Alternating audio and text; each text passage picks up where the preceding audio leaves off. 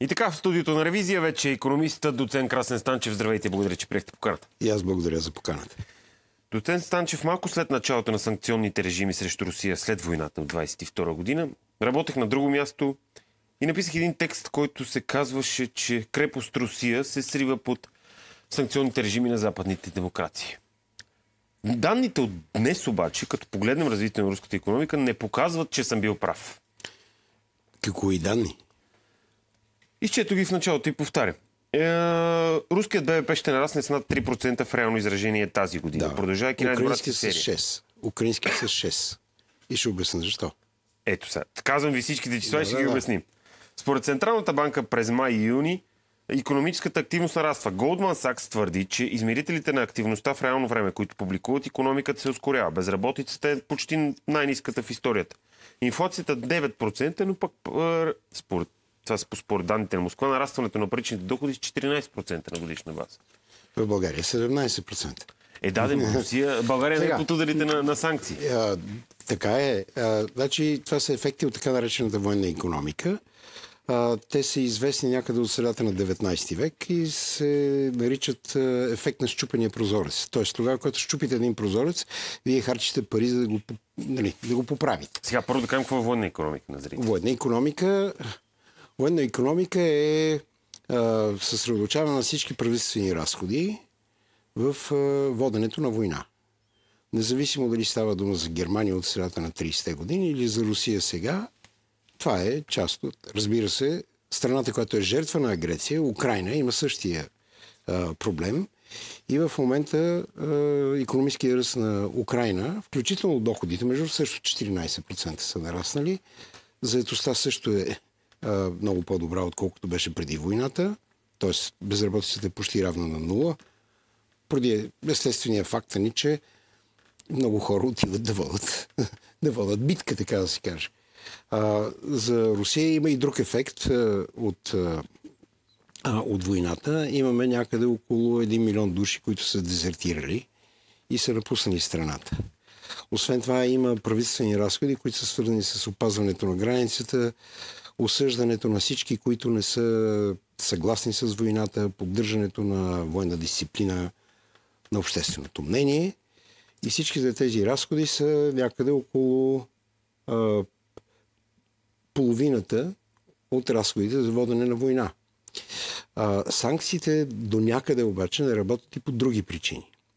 Първата причина е, че а, в крайна сметка не всички могат да бъдат накарани да спазват тези има страни, като Иран, които имат 90% от военните доставки за Русия.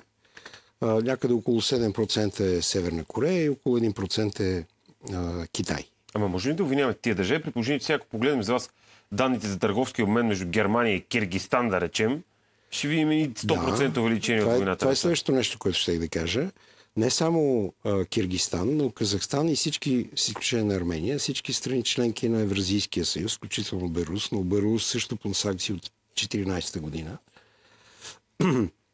увеличиха 2002 година и 2003 година а, търговията си с Европейския съюз, например, но не само, и с света. Което и в същото време се увеличи износа от тези страни за Русия. Между другото, тези страни винаги от Евразийския съюз, винаги са търгували повече с света и с Европейския съюз, колкото помежду си и с Русия. Тук числата Но, се припокрият. Колкото е да, ръста към тези държави от Европа, колкото е, толкова е към Колкото е ръста на вноса от Европейския съюз, толкова е ръста на износа от тези страни за Русия. Е, очевидно е какво да, Но в същото време а, онова, което е ясно, е, че Русия загуби пазара на а, природен газ като енергиен ресурс. Остана само Китай.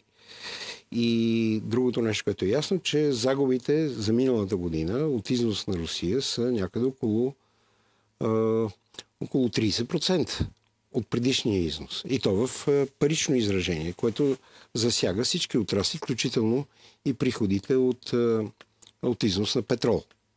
А, в същото време обаче трябва да се знае, че а, има и технически проблеми с такива санкции. Първият технически проблем беше осъзнат около два месеца след въвеждането на санкциите през април 2022 година и той се оказа абсолютно технически. Тоест, А, така наречена система SWIFT и платежната система на Европейския съюз преди години, може би 10-12, бяха реформирани така, че да няма бележка в самото кредитно визо, самия превод, mm-hmm. да има бележка откъде идват парите. И само за периода от въвеждането на санкциите, т.е. началото на април до края на юни 22 година, 55 милиарда бяха минали просто и така. И това е към, като прибавим към него проблем, факта, че Сбербанк и Газпромбанк въобще не бяха проблем е а, в това, че в нашите страни, т.е. тези страни, които а, въвеждат а, и спазват санкции, а, действа върховенството на правото и на закона.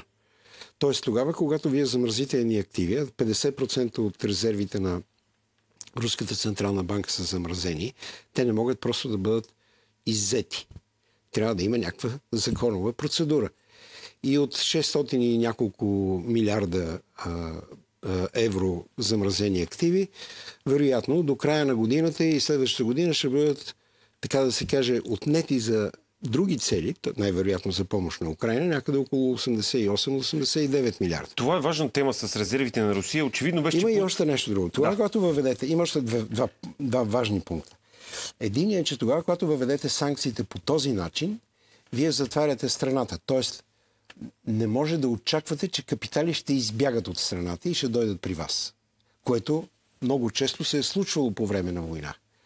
А, и тогава, когато са толкова всеобхватни санкциите, имаме този феномен. И следващия феномен е, че тогава, когато компанията, те са някъде около 1800, а, спират своята дейност в Русия, те де-факто оставят това, което са построили там. И го оставят, така да се каже, без пари. И не само го оставят без пари, но ако сте примерно Рено и сте инвестирали 3 милиарда в Русия за производството на автомобили и така нататък, тогава, когато вие излезете, вие първо губите 3 милиарда, т.е. оставате 3 милиарда активи, които са действащи. И второ, заради това, че сте продали за определен период определен, определен тип автомобили, вие ще доставяте резервни части в продължение на 30 години. Тоест, нали, смисъл, економиката винаги е инерционна система и не може от един ден за другия да се случи това и това беше ясно още в началото. Затова, когато четях данните на нашите зрители преди малко, им казах, че успехите на руската економика са привидни. Само, че Путин се, бор... се готви, очевидно се готви за, за началото на войната, доста преди това. Знаете, да. нашите зрители знаят, руската економика водеше да. изключително консервативна фискална политика, да. натрупани буфери. Да. Само, България че... има принос в тази, в тази подготовка Ние... и това е Южен поток. Да, доста сериозни а, приноси а, генерално за, поток, или за богатяването на Русия, но да. Тъй като половината от тези а, резерви са така или иначе блокирани, Другата половина в момента очевидно се разход. Припомням нашите е, зрители, е че фактор. социалната държава на Русия се разраства все повече, плащат се обещетения за починали войници на фронта, на техните семейства. Когато свършат тези пари, какво ще прави Путин?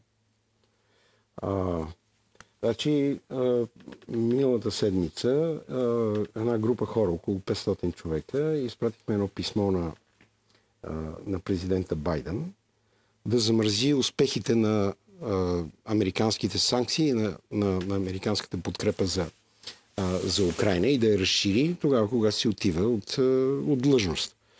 А, и там се казват няколко важни неща. Най-важното в едно изречение, аз писах за това през а, август месец, НАТО трябва да се присъедини към Украина, а не обратното. Тоест, трябва да, и това се случва, но се случва доста бавно, подкрепата за Украина, тъй като това е единствения възможен сценарий за край на войната, защото замразяване на конфликта или победа на Русия означава други войни. И те вече се случват. Примерно това, което става в Израел – е следствие на това, което става в Русия и дори предполагам с помощта а, на Русия. Но то пък оказва и влияние върху доставките на военни а, съоръжения за самата Русия, до толкова доколкото Иран е основен а, поддръжник на а, двете движения, които а, в общи линии водят в, в момента война с, а, с Израел. Съответно, това, което а, Иран доставя за войната в Израел, не може да отиде в Русия. Тоест имаме а, така, перспектива на тотален блокаж, което вероятно ще продължи още известно време, преди да даде радикални промени в, а, а, в състоянието на економиката на, на Русия. Войната в момента прилича на първата фаза на а, Първата световна война, т.е. около 4 години почти окопна война. А, без ясно решение кой ще победи кой няма да победи във военно а, в военен план. Но така или иначе, проблемите ще дойдат след това, след тези две години и те ще бъдат много големи, както за Русия, така и за Украина. За Украина сметката към момента е вероятно необходимост от около 640-650 милиарда за възстановяването. За възстановяването, а, което е около 3 пъти нещо, 3,2-3,3 пъти повече, отколкото е економиката а, на Украина за 21 година. Тоест става дума за огромни средства. Има опит за тяхното разпределение, както има и а, положителен опит от миналото и той постепенно започва да се копира а, в предоставянето на военна помощ. И положителният опит от миналото, както за възстановяване, така и за военна помощ, е деполитизация на решенията и а, ако може така да се каже, хоризонтално на решението. Тоест, ако, примерно, в даден момент Съединените щати или Австралия не могат да подпомогнат Украина, то това може да го направи Швеция или Нидерландия. И следващото нещо, което е много важно и е а, вероятно перспектива за следващата година, е разширяването на НАТО. С Украина? Не с Украина. С Япония, защото Япония е заплашена от война. Тоест, При всички случаи. Да кажете, Япония че... е заплашена от война. А, Аржентина иска да стане член на НАТО. Искате да кажете а, с новият им президент. Южна Корея иска да стане член на НАТО. Искате да кажете, че економическите санкции сами по себе си няма да доведат до крайна водата. Ще трябва към тях да се добавят и сериозни а, военни. Как значи с, а, дори с пари не се печели война. Такъв случай. Цената на война... пари, но дали хората ще почнат да се бият, нали, е съвсем друга работа. И, Все още се нужни хора. Да. работа е как ще се бият. Каква Вчера, цената? между другото, има а, един много интересен ефект върху България на, на войната. С колеги преди около 7 години смятахме а, за какво отиват от новия български университет, смятахме за какво отиват военните разходи на България. И те бяха най-неефективните в а, всички страни от а, НАТО. От вчера вече има ново виждане как ще се гради отбраната на България и тази, това ново виждане е 100% копия на това, което прави в момента украинската армия, което е най- така да се каже, добре тренираната в момента, за съжаление, разбира се. Ако погледнем обаче цената за Европа, на санкции и въобще на начина по който се развива войната. Сега, хората останаха с впечатление, вероятно заради, заради разпространение на наратив. Знаете ли колко са тези а, средства, които Европа и Съединените щати по-отделно. Ама това са директните пари. Говорим за, за, за страничната щета. Например, хората казват, войната ни доведе инфлация. Инфлацията не, от войната или, или от печатането на пари? Нека да го изясним. Е, това е първо преди това. Второ е, е, втория фактор е COVID и големите държавни помощи по повод COVID. И третото е временно действие на е, пренагаждането на економиките на Европейския съюз към нови доставки на природен газ и, разбира се, енергийни ресурси. Това отне време, това имаше разход, но в крайна сметка а, военната и економическата, т.е. подкрепа на платежния баланс а, на Украина е на година с размер 0,45% от брутния вътрешен продукт на Европейския съюз и 0,36-37% от економиката на Съединените щати. Така че това в общи линии е, ако вземете и военната сила, Европейския съюз и НАТО имат 12 пъти по-голям военен капацитет, отколкото е този на Русия.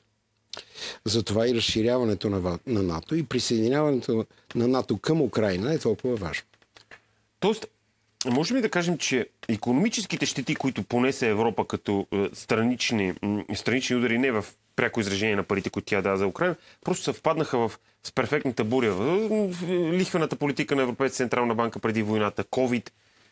Всъщност, можем ли да кажем, че Путин използва този момент, за, за, за да нападне точно тогава Украина, да доведе до още по-сериозен економически мултипликатор на щети а, значи, в Европа? А, към 14-та година имаме тенденция за спад на приходите от износ. Между другото, износа на енергийни ресурси, метали и така нататък от Руската федерация за света и специално за Европейския съюз към 14-15 година беше спаднал с около 10% спрямо 10 години по-рано. А, онова, което а, направи президента Путин и беше умно от тази гледна точка, но никой не го разбираше, с изключение на съседите на, на, на Русия а, и Полша, да речем. И те непрекъснато поставяха този въпрос.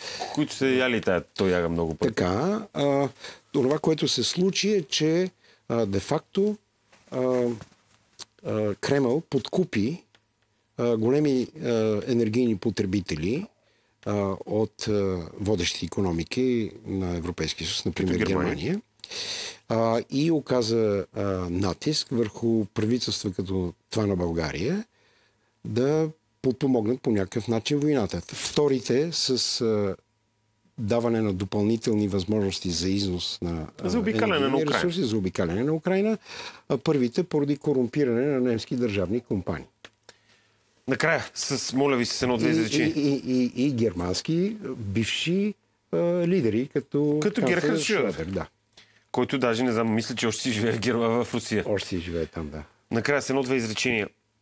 Отговор към хората, които твърдят, рус, руската економика надминава европейската, нещата се обръщат. Ами, в общи линии руската економика в края на тази година ще бъде някъде около 10 пъти по-малка от европейската. Добре, много ви благодаря. На гости ни беше доцент Красен Станчев. Говорихме си за економическите санкции срещу Русия и за, и за твърденията, че а, руската економика продължава да се справя твърде добре и че санкциите не работят. Чухте, номинално числата може и да показват добро поведение на руската економика през тази година, но дългосрочен план нещата не изглеждат толкова добре. Европа и САЩ продължават да бъдат десетократно по-богати, отколкото Русия. Най-вероятно така ще остане и за бъдеще. Продължаваме с